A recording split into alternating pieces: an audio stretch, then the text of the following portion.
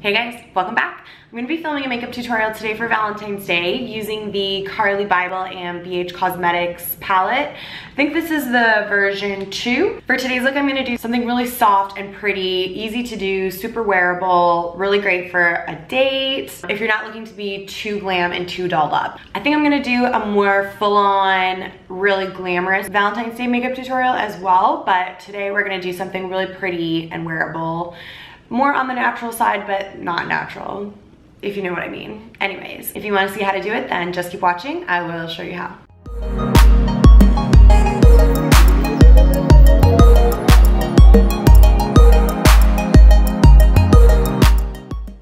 So where I live in Toronto, it has been super cold, like minus 30 and that means it's been really dry and my normally oily skin has been dry, which is crazy. I can't even imagine how much people who have dry skin are suffering right now. So I'm gonna really load on my moisturizer and really take the time to work it into my skin to really just perk my skin up, get the blood flowing, bring back some life. And for my moisturizer, I used, as always, Charlotte Tilbury's Magic Cream. It's my favorite. So because I use so much moisturizer, I don't want to put too much other makeup on my face. So I'm going to skip a primer for today. I'm going to move on to foundation. For foundation, I was thinking for this look, I want my skin to be super glowy, really dewy and fresh and healthy looking. So I wanted to use a really glowy foundation, but the only foundation I have that sort of matches me right now is my Dior Forever, which is more matte. So what I'm gonna do is mix that with a little bit of my Lancome Tint Miracle Foundation. Uh, these two together are really pretty and you can see the colors are quite different. This one's a lot darker, so hopefully I can uh, get a good match going here with a little bit of extra luminosity mixed in as well.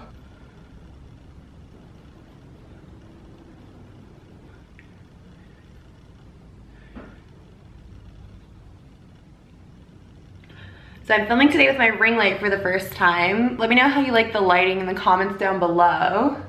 It's pretty crazy what a difference it makes. Let me show you. So this is what I would normally be filming with. And so like straight on from the natural lighting would be nice, but because I have to kind of film from the side, I always have more of a shadow on this side of my face. So the light really helps just brighten everything up. So I'm breaking out on my forehead right here. So I'm gonna just take a little bit of my Dior Forever concealer and just kind of spot conceal and tap that in with my fingers. And because I'm going for glowy skin, I have to use my Charlotte Tilbury Hollywood Flawless Filter. I'm obsessed with this stuff. And I'm just gonna put that in the areas that I'm going to highlight and blend that in with my fingers as well. I like to kind of bring that underneath my eye as well, just to help brighten that under eye area, reflect a little bit of light out of there.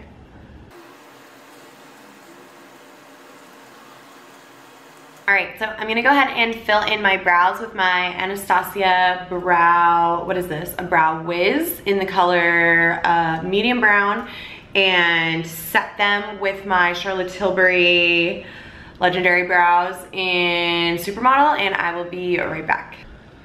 I literally just bought this brow pencil this week and it already broke on me. This side had the spoolie on it and this, it like broke off. The spoolie's inside here. Like what? That's so bad. You know, these are so popular, these Anastasia brow pencils, and I've always used the Charlotte Tilbury ones, and I thought I would try this when my last Charlotte Tilbury one ran out, and I'm just like not that happy with it. I don't think the product is very good. I don't think it stays very well, and it just broke. okay, I'll be back.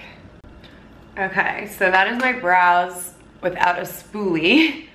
So they're a little bit like darker and more precise than I would normally do, but that's what I can do without a spoolie, so it's all good. We can rock that look today. Next up, I'm going to prime my eyelids with my Lorac eyeshadow primer. And I'm going to conceal my under eyes with my Maybelline Fit Me Concealer in shade number 20 Sand.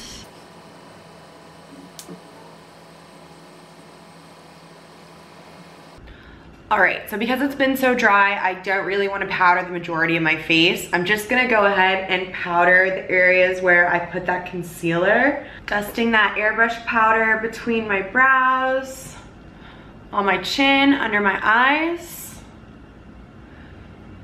My Charlotte Tilbury Airbrush Flawless Finishing Powder.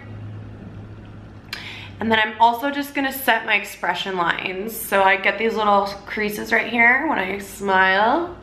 So I'm just gonna set those to help prevent makeup from building up in there.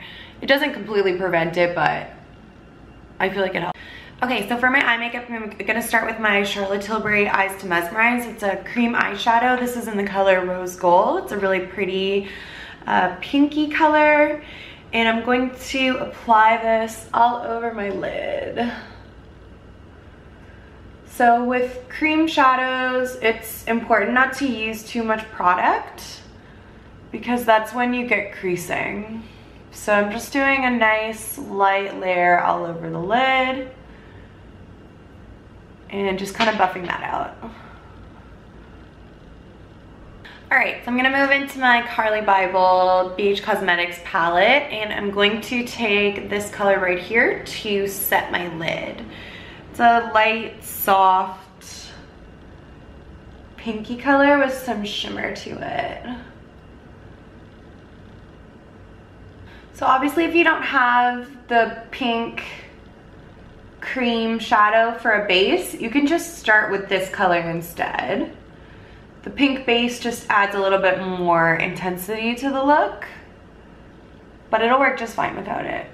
So I wanna take something a little bit more neutral sort of through the top of my crease. So I'm gonna take this color right here, kind of a neutral pinky shade on a fluffy blender brush and just pop that above my crease to give the rest of the colors that I'm gonna put down something to blend into.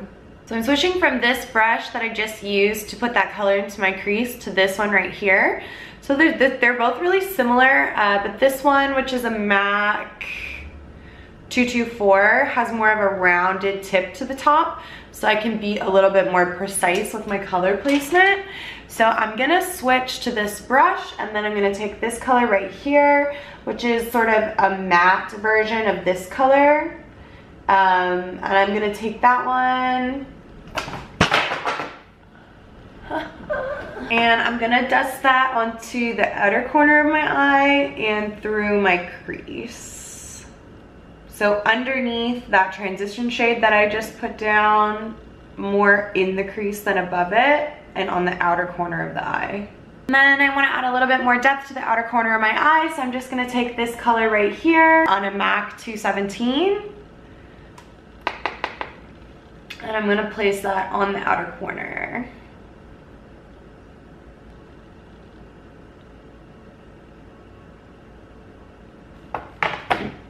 And I'm just gonna take the brush that we used just before this, the tapered blending brush, just to kind of blend it a little bit.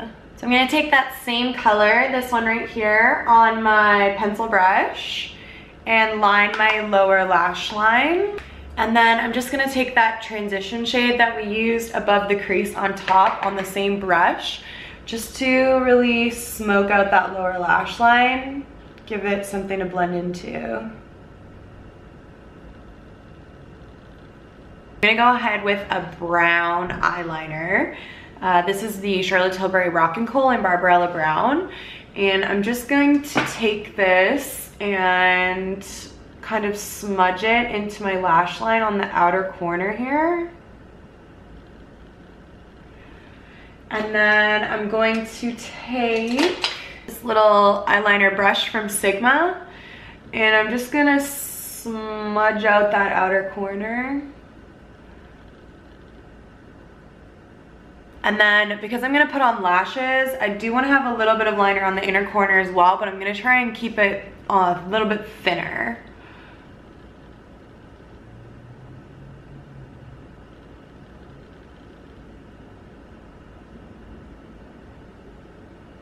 And I'm not gonna smudge out that inner corner, just keep it kind of smoky on the outer corner here. And I'm just gonna go ahead and tightline as well.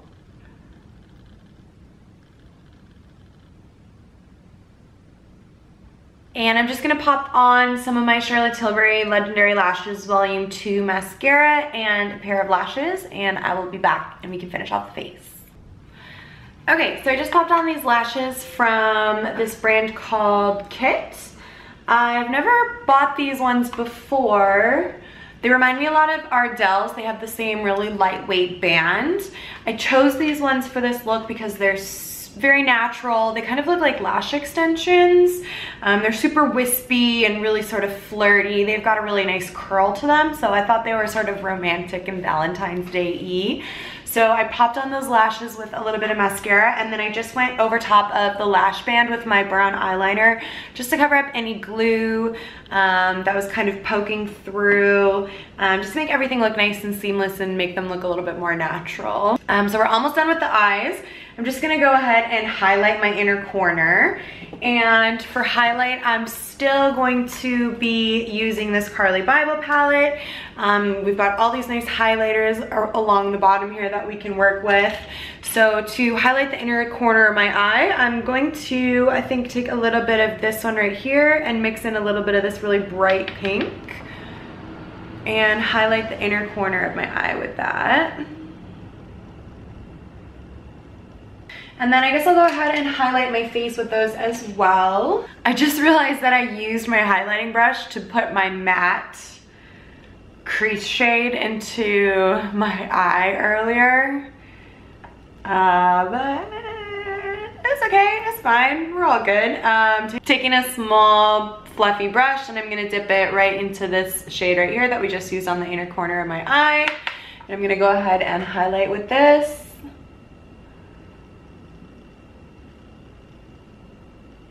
And for bronzer today, I'm gonna use my Charlotte Tilbury Film Star Bronzing Glow palette. I'm gonna take the Sculpt shade right here on this little NARS brush, and I'm gonna go ahead and bronze up my skin with this.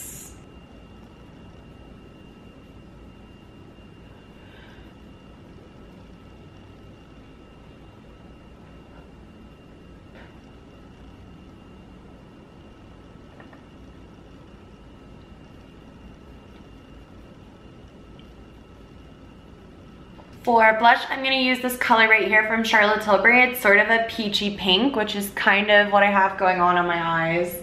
My eyes are kind of a mixture of warm tones and cool tones, which I think is kind of cool, but it's making choosing my accoutrements a little bit more difficult here.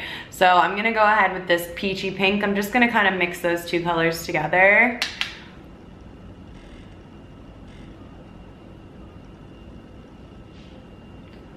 And I have been wearing two highlighters every day recently, sort of a darker one and a brighter one right on the high points of my face.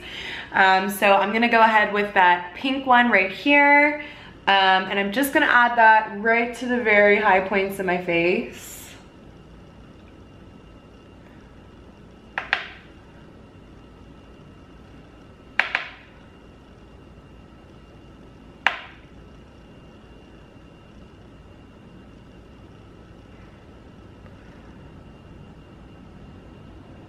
And I can use a little bit more highlighter sort of on my forehead and areas where I would normally get more oily, like on my chin and the bridge of my nose.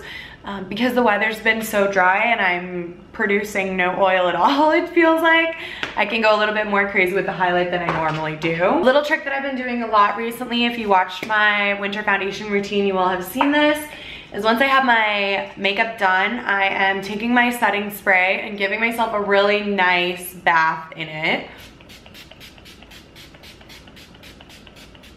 Let it dry for just a second.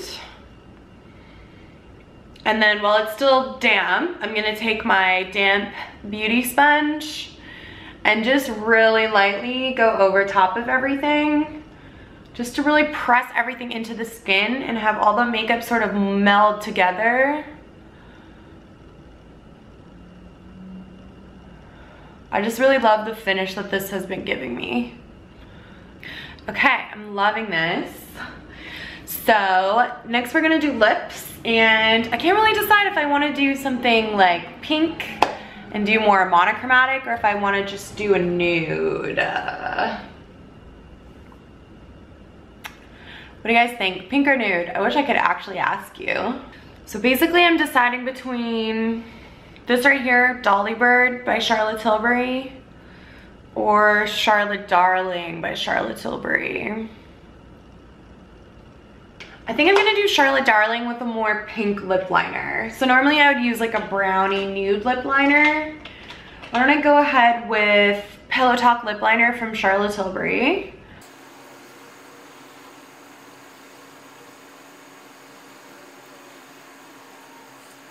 And I'm gonna fill my lips in entirely with that. Just so that the nude lipstick has a little bit more of a pink base to it. And this is Charlotte Darling Liquid Lip.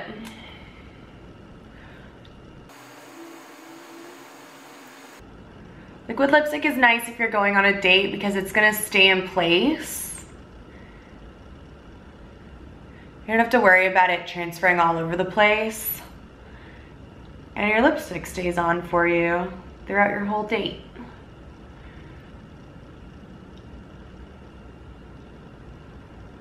These Charlotte Tilbury liquid lips are not transfer proof. They have more of a satin finish, but that makes them really comfortable to wear. They're not super drying, but because they're not, they kind of, once they dry down, they still transfer a little bit. Like they're not kiss proof or anything like that, but they're still really nice and long wearing and really comfortable to wear. Okay, you guys, so this is my first Valentine's Day makeup tutorial. I hope you guys enjoyed this look. Let me know what you think of it down below. If you guys do this makeup tutorial for your Valentine's Day or your Galentine's Day, take a picture of it and tag me on Instagram. I'll put my Instagram on the screen right here. It's at Jessica on Instagram. I'm gonna be doing a more full glam, dramatic Valentine's Day look to put up on my channel as well. So if you don't wanna miss that, make sure you hit subscribe so you're notified when I upload new videos. I'll have all the products I use listed in the description box down below, so make sure you check that out if you're interested. Thank you guys so much for watching. Really appreciate it. Give the video a thumbs up so that more people can see it too, and I will see you in my next one. Bye.